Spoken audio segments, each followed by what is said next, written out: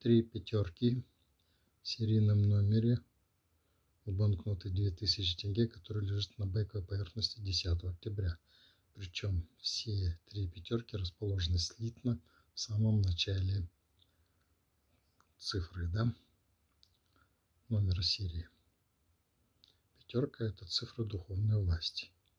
Однозначно тройное усиление духовной власти у этой банкноты. Такую энергетику несет эта банкнота.